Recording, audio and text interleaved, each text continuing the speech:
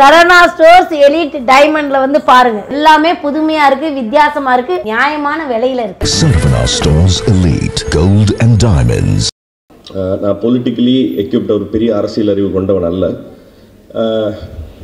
But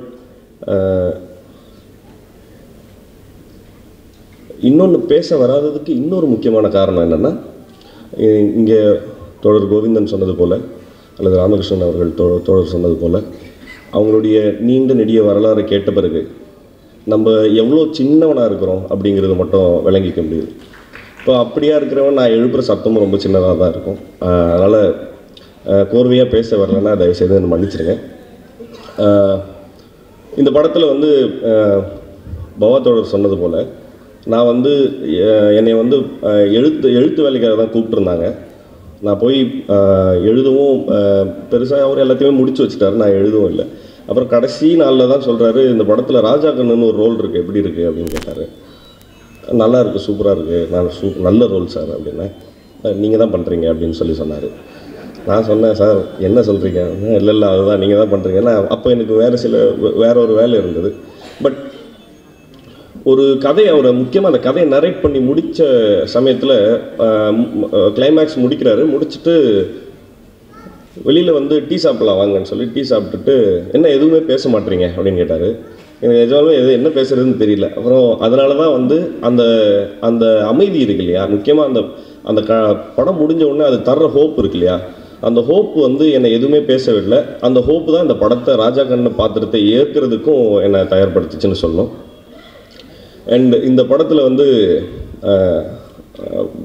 தொடர் பவா சொன்னது போல் இந்த இந்த இந்த சீக்வன்சஸ் எல்லாம் நடித்து முடிச்சதுக்கப்புறம் இவர் ஆஸ்பத்திரிக்கு அனுப்புனாங்களா அப்படின்னு கேட்டார். எனக்கு அப்படி எதுவுமே நடக்கலைங்க. ஏன்னா எனக்கு ஒவ்வொரு எனக்கு அங்கே தெரப்பியுமே அங்கேயே தான் நடந்துச்சு. ஏன்னா சார் என்ன சொன்னார்னா எனக்கு ஒரு ரெண்டு மூணு சீன் வந்து அந்த அடி வாங்குற எல்லாம் முடித்த பிறகு மணி நிஜமான ராஜா கண்ணை நினச்சிக்க அப்படின்னு சொல்லுவார். அப்போ அவருக்கு எப்படி இருந்திருக்கும்னு முதல்ல நினச்சிக்க அப்படின்னு சொல்லுவார். ஸோ அப்போ நான் அப்போ நினச்சி பார்க்கும்போது ஆமாம்ல நம்மளுக்கு நம்மளுக்கு ஒன்றும் பிரச்சனை இல்லையே. நம்மளுக்கு ஷார்ட் முடிஞ்ச உடனே ஒன்றும் இல்லை வெளியே போயிடலாம் இல்லையா? முடிஞ்ச உடனே டீ காபி கொடுத்துருவாங்க. எல்லாம் நடந்துரும். பட் அவருக்கு அப்படி நடக்கலையே. அப்போது நான் அப்படி அப்போ நான் அதை நினச்சி நினச்சி தான் நாங்கள் இது எல்லாத்தையும் இந்த- இந்த இந்த ஷூட்டே என்டையராக அப்படி தான் நடந்துச்சு.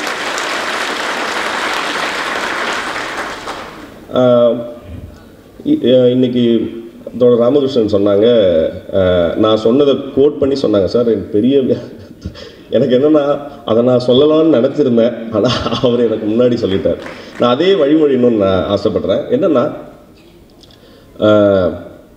இதில் நடித்தோம் அவ்வளோதான் இல்லையா? ஒரு எழுபது நாள் இந்த படத்தை வந்து ஷூட் பண்ணி நடி ஷூட் பண்ணி வே- வேலை செஞ்சோம் நடித்தோங்கிறதே வந்து இவ்வளோ கஷ்டமான டயரிங்கான இத்தனை பேட்டிகளுக்கு வந்து கண்டென்ட்டாக மாறுதுன்னா இ- காலம் ஃபுல்லாக லைஃப் ஃபுல்லாக வந்து அவங்க இத்தனை இவ்வளோ அப்போ எவ்வளோ மன வலிமை இருக்கும் இவங்களுக்கு? எவ்வளோ மன உறுதி இருக்குன்றது மட்டும்தான் இதை மட்டும் தான் நான் கற்றுக்கணும்னு ஆசைப்பட்றேன்.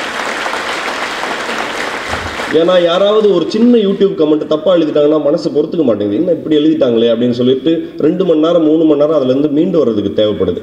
பட் காலம் ஃபுல்லாக பிரச்சனைகளையும் எதிர்ப்புகளையும் மட்டுமே சம்பாரிச்சுட்டு எப்படி இவ்வளோ உறுதியாக இவங்களால் இருக்க முடியுதுங்கிறது மட்டும்தான் நான் இவங்ககிட்ட இருந்து இன்னும் கண்டினியூஸாக கற்றுக்கிட்டே இருக்க வேண்டிய விஷயமா இருக்கும்.